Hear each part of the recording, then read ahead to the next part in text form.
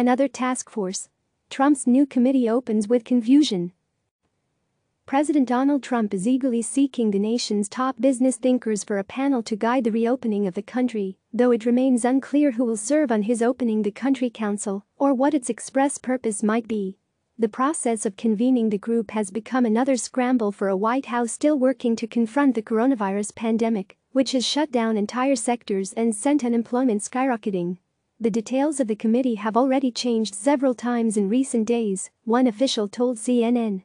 Who will participate and what they will look to do remains fluid, even though Trump said he will formally announce the council Tuesday. It's a mess right now, someone in close contact with the White House said. The new task force, or multiple task forces, isn't to be confused with the existing coronavirus task force, the assemblage of administration officials and doctors assigned to combat the public health crisis.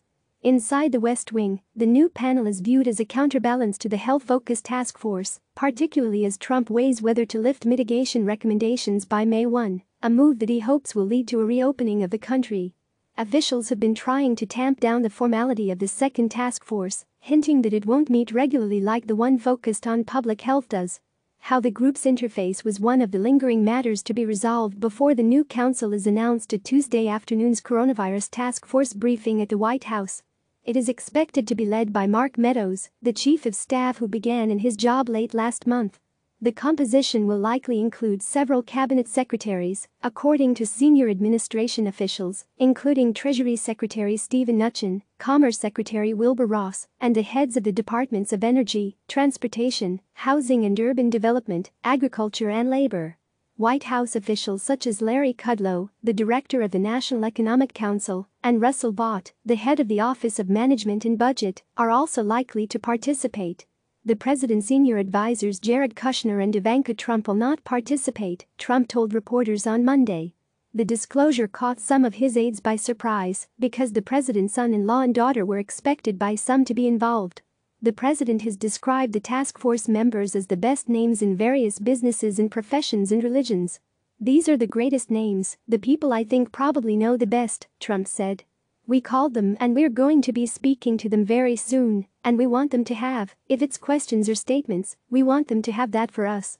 While Mnuchin said Monday that he and the president had reviewed a broad list of over 100 business people, it's not clear who will actually be a formal member of the group.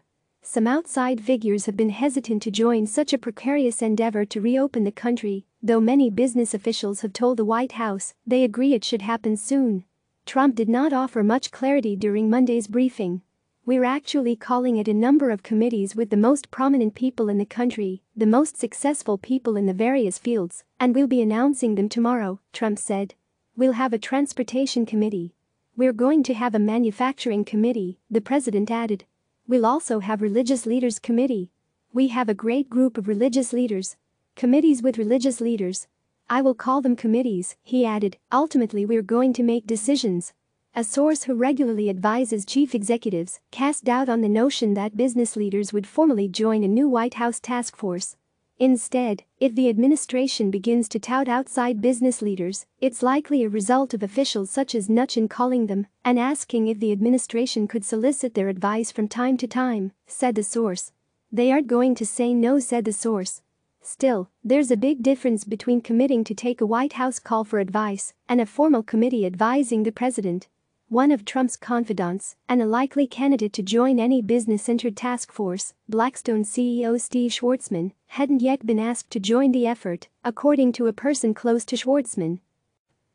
Business leaders have been hesitant to formally tie themselves to the Trump administration in the past and often prefer to keep their relationship with the president private. The business councils Trump formed at the onset of his administration disintegrated after he blamed many sides for white supremacist violence in Charlottesville, Virginia in 2017. Many of the corporate leaders fled the groups after the president's remarks, though he later claimed he dissolved them on his own. Some of Trump's allies have proposed naming a recovery czar from the private sector to oversee efforts to revive the consumer economy and address unemployment after coronavirus forced the closure of businesses across sectors. Influential conservatives have floated economist Art Laffer as the leader of the task force, and he has presented some ideas, such as a payroll tax waiver, to senior White House aides. Trump awarded Laffer a Presidential Medal of Freedom last year, but the White House hasn't yet offered him a position on a new panel, according to a senior administration official. Laffer told CNN this week he hasn't been asked to be on the Economic Task Force, and that given its likely large size, he's not particularly inclined to participate. Trump said Monday he expects recommendations from the committee soon.